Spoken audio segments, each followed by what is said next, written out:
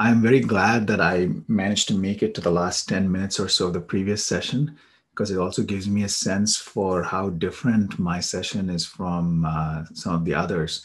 I will apologize in advance because I'm not a governance professional. Uh, so a lot of uh, things that I'm going to say are an outsider's perspective. Uh, so with that caveat, let me get started.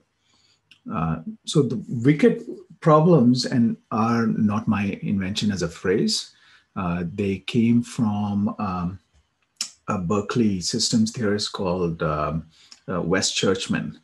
And the idea was that many of the uh, problems of the 21st century uh, are of a kind where you know there are many many interrelated perspectives uh, people agree on some issues disagree on some issues everybody thinks that they are uh, in the right and um, uh, and unfortunately, when that happens, um, there's no clear way forward. You can't solve a wicked problem in some uh, obvious sense. And so, what it leads to is a system in crisis. So, that's the first part of this uh, presentation. Right.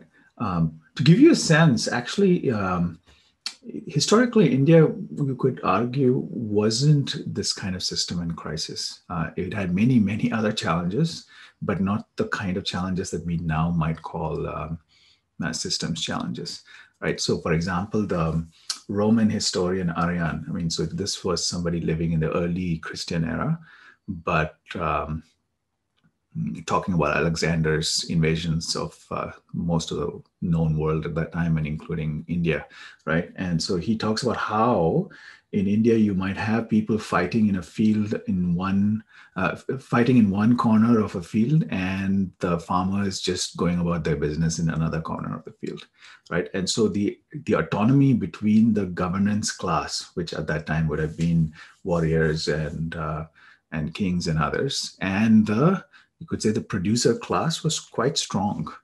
And which is very different from now because now we expect uh, governance to reach every single corner of our society.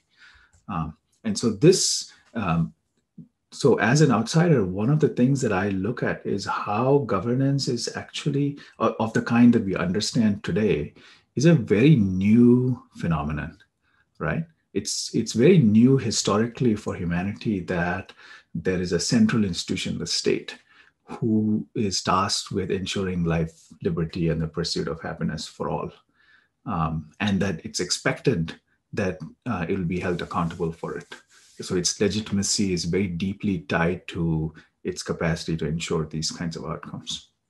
That I find uh, a sort of a fresh view for myself that we uh, don't don't uh, think of governance as something that has been there forever. Certainly not in the way that we do it now. Right, and um, because of this um, multifaceted nature of governance, it's typically of the elephant kind that we have heard in the famous parable of the seven blind men and the elephant, right? It's actually a Jain uh, story. Uh, so, in fact, you can see that. Uh, so it says anekanta, uh, something else which I'm not going to read right now. So, um, so anekanta, of course, is the Jain philosophy of multiple views of anything, and so um, it's a very powerful myth of how um, all of us are stuck with our view of a very complex situation and we don't know how to handle it collectively. And so Socratus is founded to see if we can do something about this kind of collective problem solving, right? And so governance that way is a wicked problem. There are many, many different stakeholders. And I'm assuming, again, going back to the previous slide, that even people acting in good faith uh, have a limited perspective right? Everybody sees their view of the world, um, and they often conflict not because they are directly in conflict, but because they believe that what one person is seeing, the trunk of the elephant, um, and what another person is seeing, which is the leg of the elephant, are uh, are seem to be in conflict because the trunk and the elephant are not, and the uh, legs are not the same thing right? But at the same time, there are, of course, interconnected parts. So the elephant is right there behind everybody, Okay, so that's that's how I would like to pose the issue of uh, the wickedness of governance as a problem, right? And what's happening, as especially today with the um, use of you know massive flows of data and information, is that we have kind of a permanent revolution in the uh, enactment of governance. W- what do I mean by that? Permanent revolution, by the way, uh, if you haven't heard it, is a famous phrase by Leon Trotsky, the Russian revolutionary.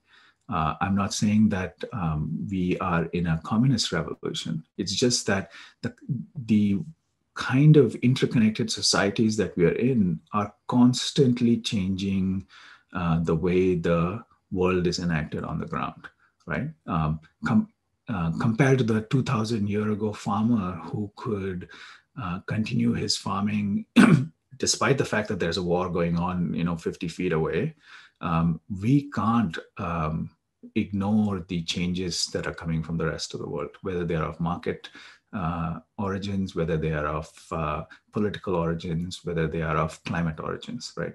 Uh, it's a it's the kind of uh, continuous change in our everyday life that is the condition of humanity in the 21st century.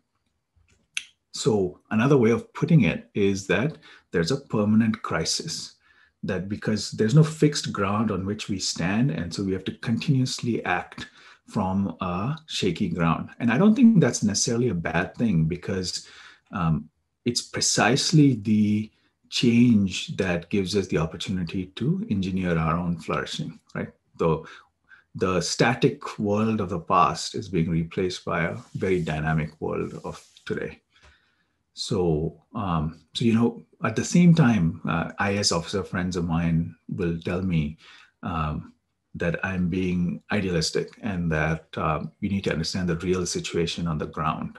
Um, and at the same time, uh, they are, you know, sitting in public policy courses, uh, you know, in some institution not too far from where I am right now, um, and they will um, learn a much more, you could say, normative view of how public policy should be enacted, right? So on the one hand, you have these rational models of the state and of public policy. And on the other hand, you have the very, very messy situation on the ground. And um, it's not clear how to bridge the gap between the two. And again, I should reiterate, I'm not saying I'm a governance professional but I do see that there is a need for a way of thinking that allows us to uh, bridge the gap between the is and the ought. So when I say is, I mean that the messy situation on the ground, and the ought is the kind of flourishing that we would like to um, see all of us have in the future. Right. And um, I'm going to give a very quick overview of this as a cognitive scientist. So if you take a look at this picture, I hope everybody can see this picture. Um, and I'm going to let it go for about 10, 15 more seconds. Um, just mark it to yourself or maybe put um, mm, message on the chat window when you notice that there's something changing in the picture. So there's actually a pretty dramatic shift. If once you notice it, you can't not notice it.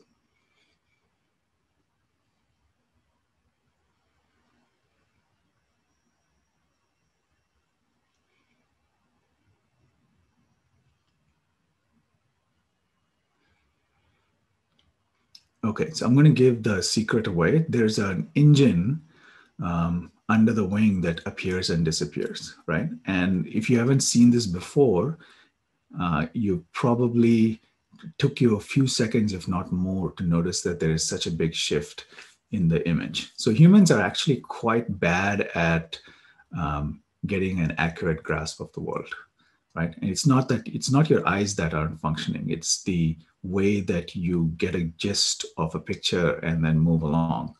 And so, one of the things that uh, I want to um, bring as a cognitive scientist is how is it that our minds are uh, predisposed to seeing what we want to see, and therefore, how much of the transformation of all our systems, including the governance systems, is about training our minds to see better, right? So, it's not training our eyes to see better, but training our minds to see better. Okay. And that's what we call by saying uh, when we say wicked problems need wicked minds, right? So the problems that we have as a society have outpaced our ability to deal with them. Um, and there are many, many interrelated crises that are simultaneously happening, and we have to be able to address all of them. And um, we tend to emphasize individual issues, but not collective issues right? And, and like the previous slide shows, we are limited by our cognitive habits, right? So we, we think we have a good grasp of the world, but we often don't. And, um, and of course, there are the various challenges that come from complexity. Uh, so you have nonlinear, path-dependent situations. There's a lot of uncertainty. Um, by the way, if I'm using jargon that you um, aren't fully aware of, just put a um, question or a comment in the chat window so that I can address that. Okay, so what we need, I think, to uh, as to create new kinds of systems, right, in a dynamic world, is what I call learning fast and learning slow. Uh, this is a kind of a cute take on a well-known book now by Dan Kahneman, the Nobel Prize-winning uh, psychologist and economist, uh, whose book was called Thinking Fast and Thinking Slow. So, in his view, there are two kinds of brain or psychology systems that we have. One is a very fast thinking system that responds essentially by gut instinct. And then there's the slow thinking system that is subject to reason and that can be reevaluated and that allows you to um, be more thoughtful. So the question is, how do we do that for organizations and collectives and not for individuals, right? And so that's what I call learning fast and learning slow. So any organization, um, whether it's a government, um, whether it's a government department, whether it's a NGO, has to be able to um, act fast.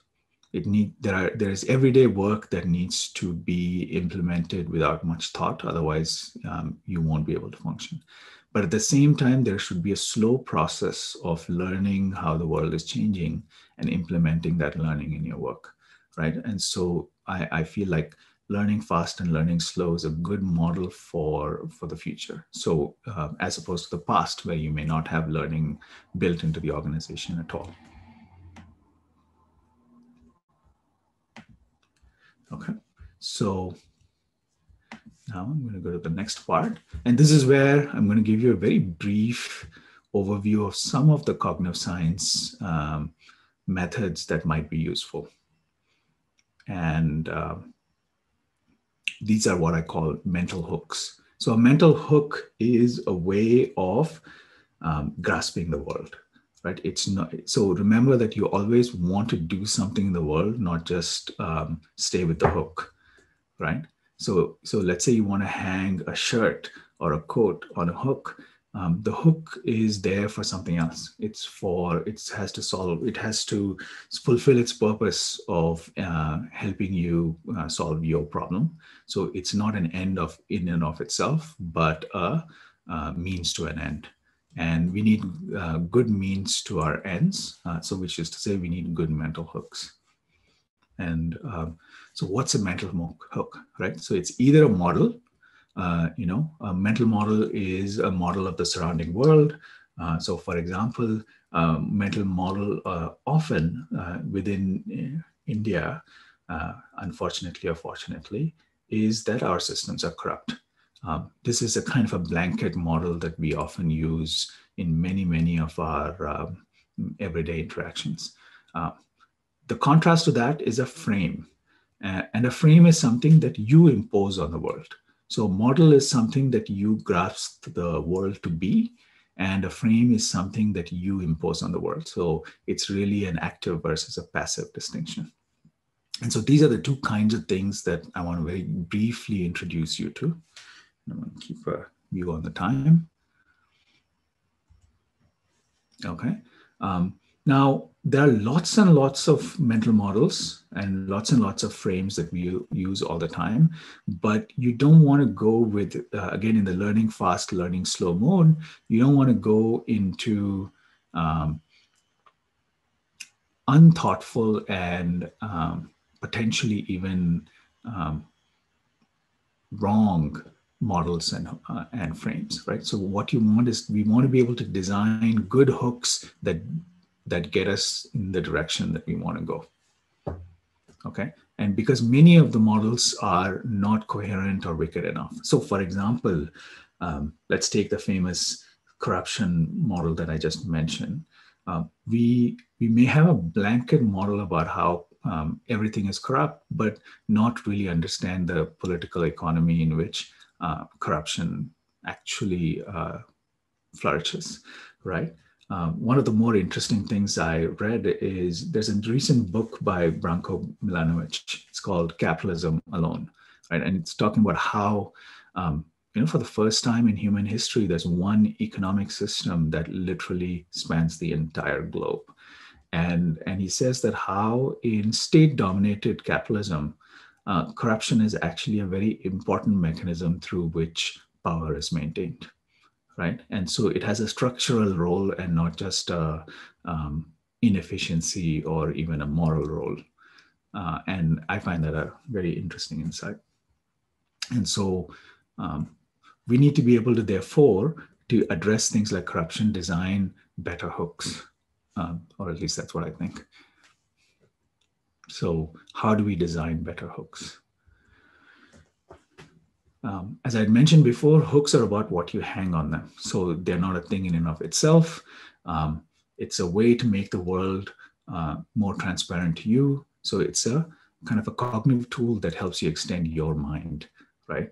And so they're heuristics or thumb rules. They don't have, they're not like the laws of physics or even the, uh, the laws of the uh, Supreme Court.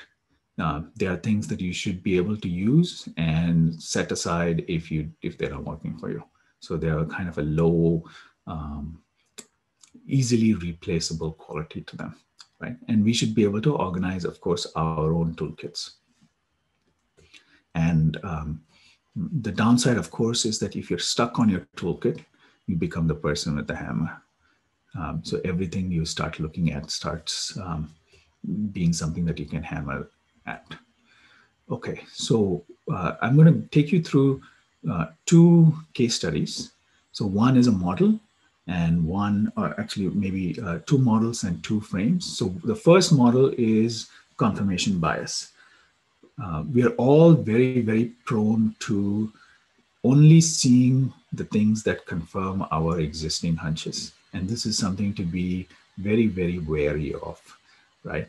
And so we pick and choose information that um, suits our narrative.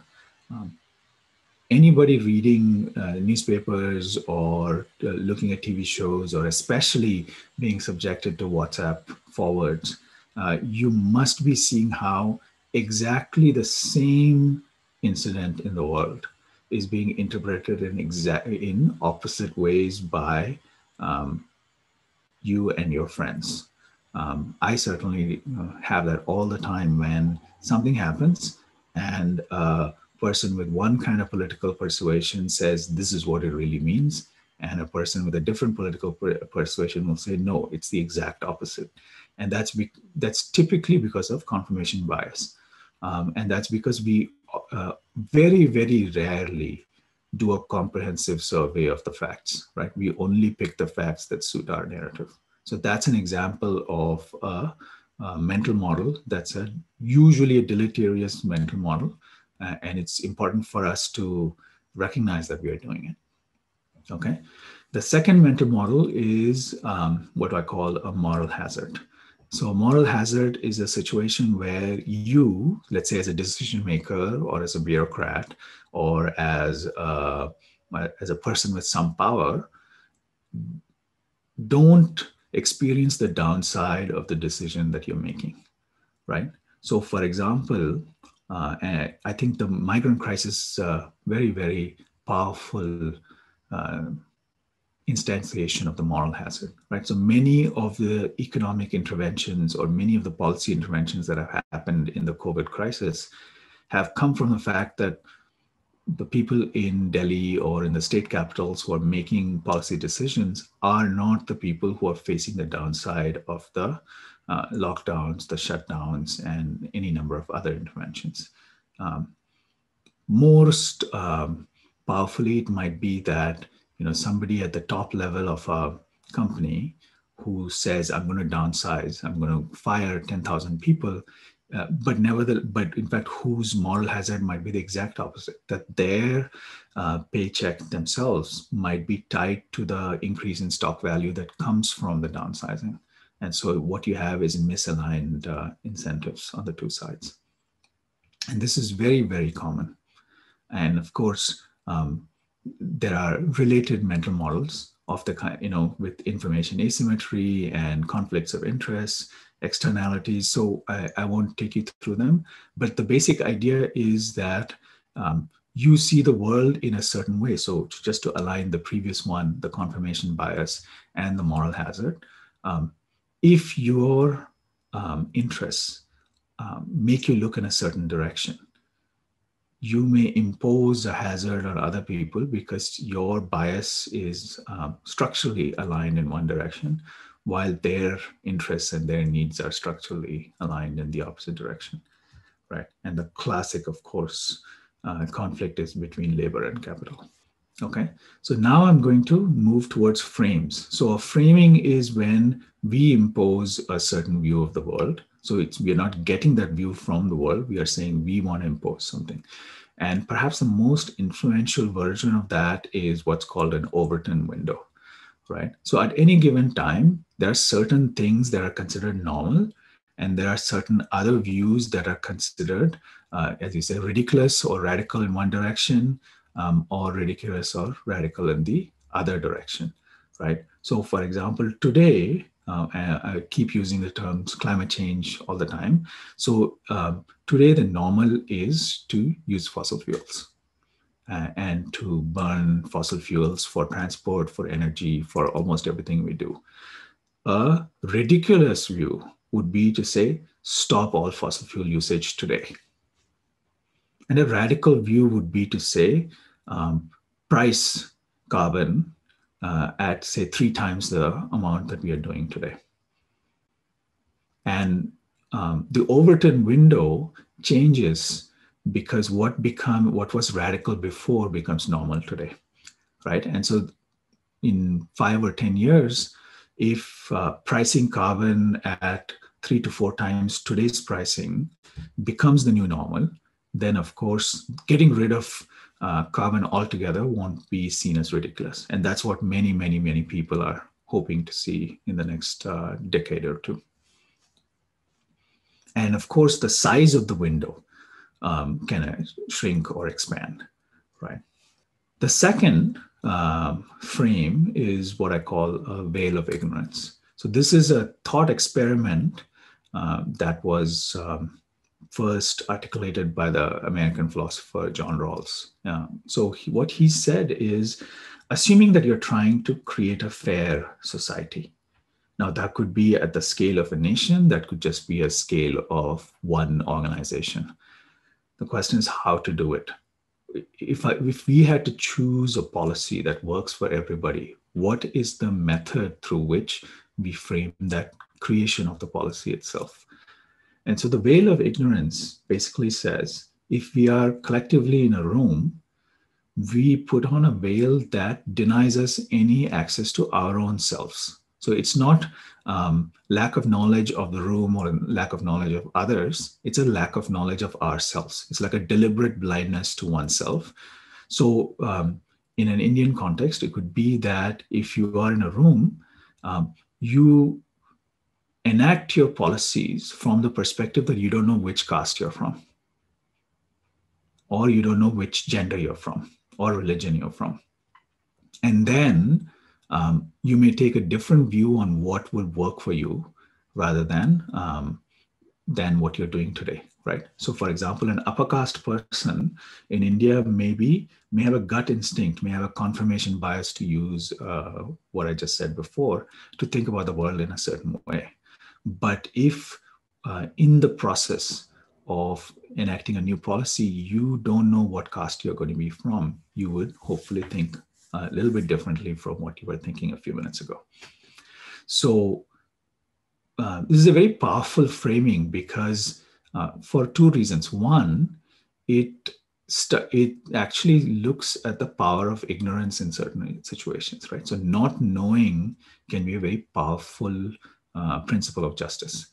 And the second is that um, it actually uh, goes in the direction of creating new policies because um, it gives you a technique rather than just a, a principle.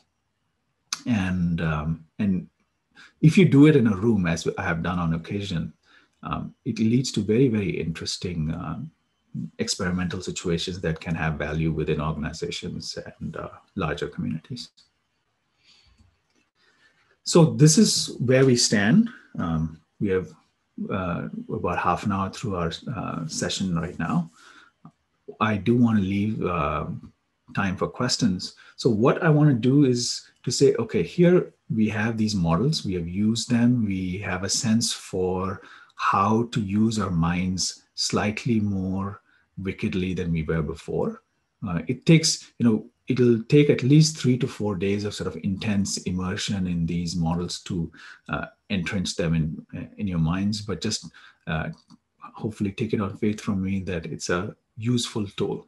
Nothing more than that. It's not some profound realization. It's just a useful tool for uh, for making ourselves a little bit more wicked. Now, what I want to do is to say, okay, you have these tools. Can we assemble the wicked mind out of these tools?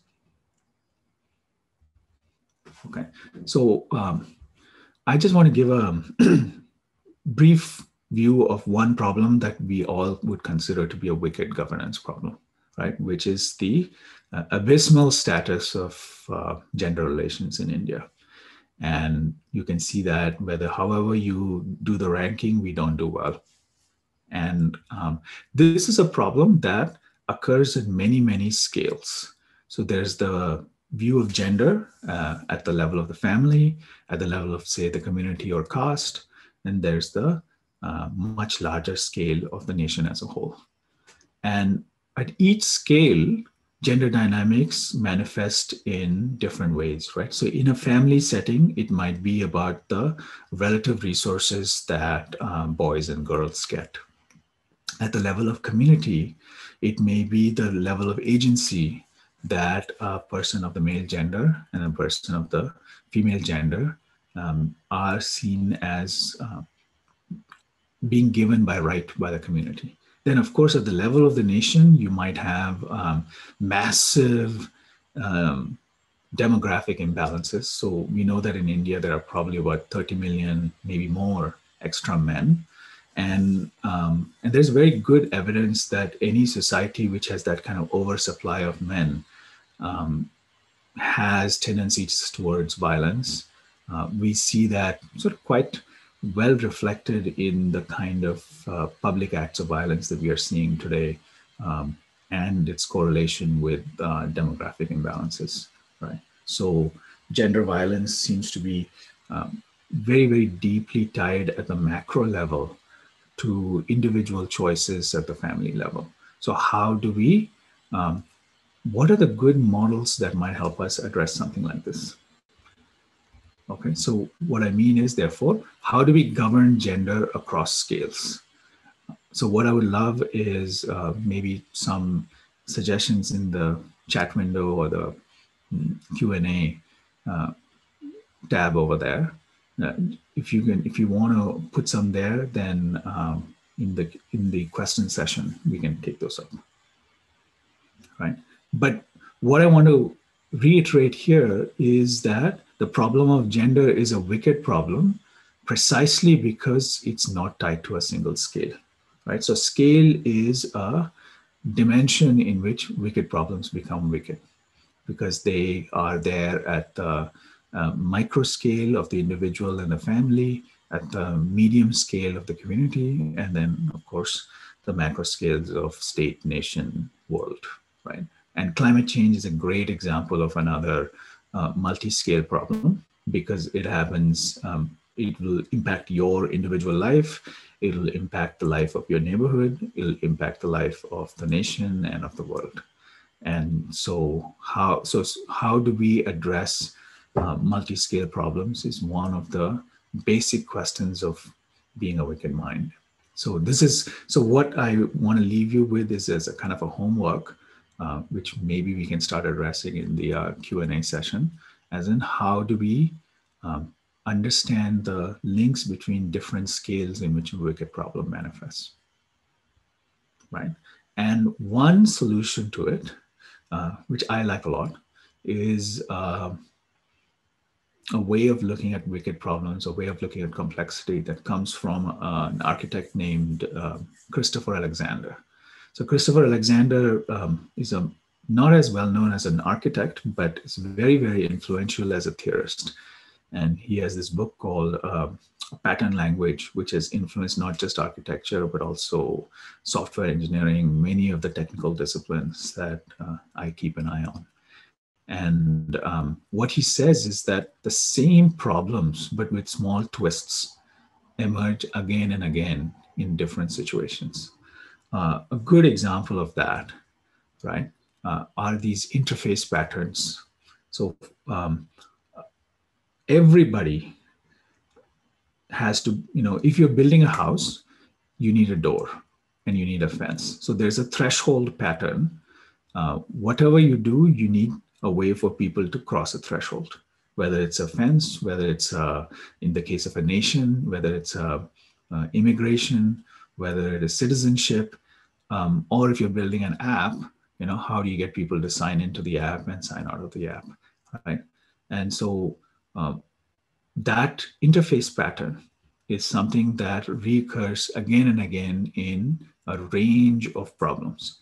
And what uh, Alexander and others are pointing out is this is a human universal. It's like the way we are built. The way we are built, we always have to solve this problem. The scale pattern um, is something that we um, just discussed in the, or rather, I just discussed in the discussion of gender, that many, many problems reoccur at multiple scales. And the only way to address them is by looking at how the scales connect to each other.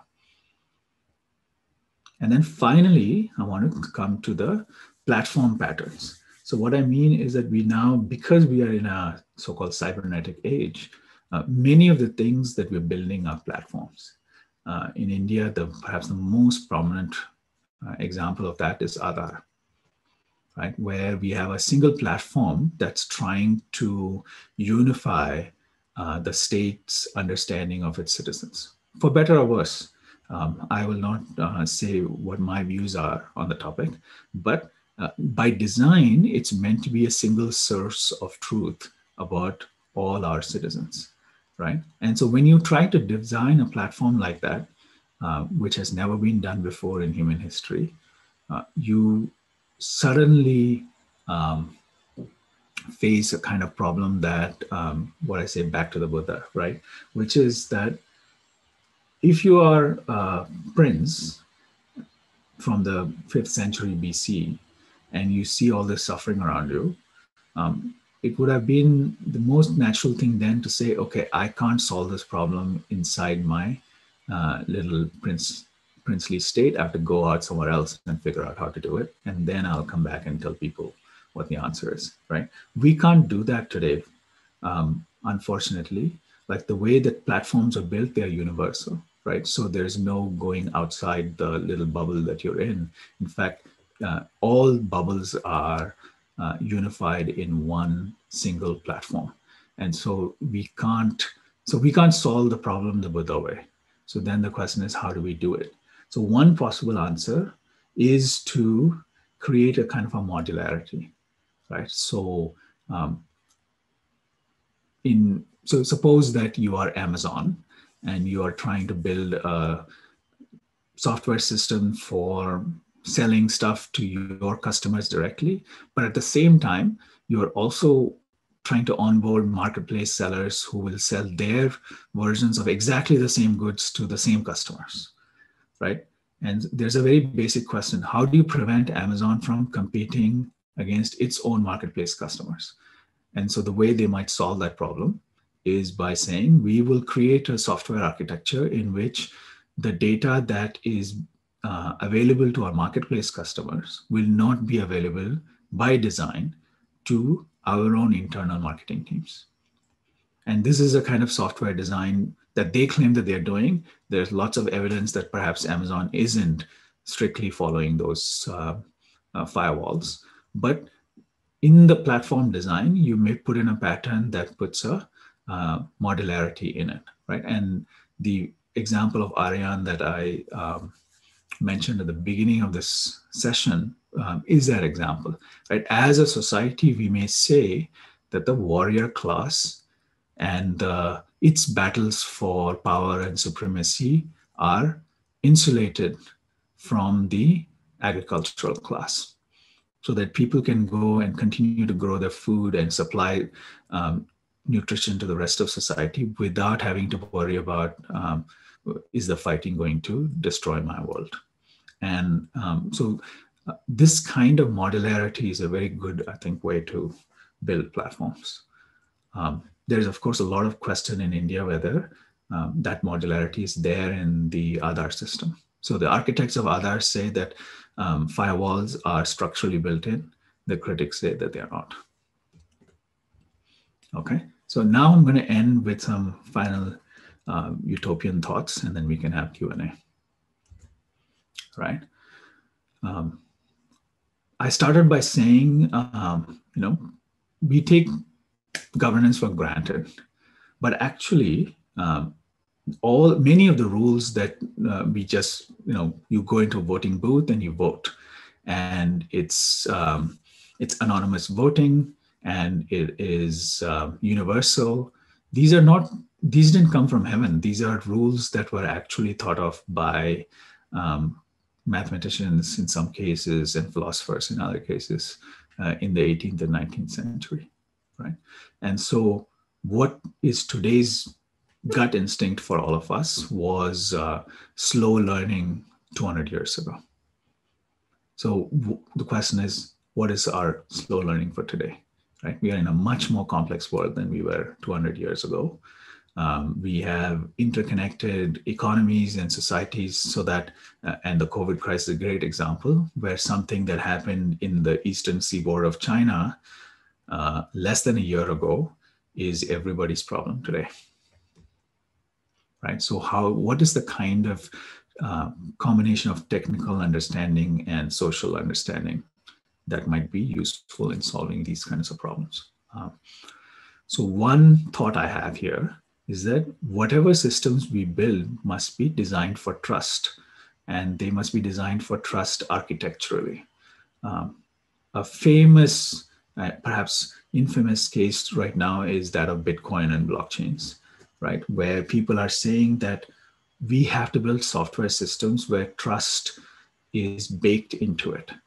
Um, and I mean, there's a huge amount of hype around blockchains but I think there's a very important architectural principle in it, which is that I can um, be part of a distributed system in which transactions take place, whether they are economic or political and whatnot, without me having to know the person or even uh, trust that that person is uh, going to be a reliable partner. It's the, uh, the grammar and the architecture of the system that enforces trust rather than the uh, individual minds and behaviors of people. And that I think is a very powerful uh, systemic principle in my view.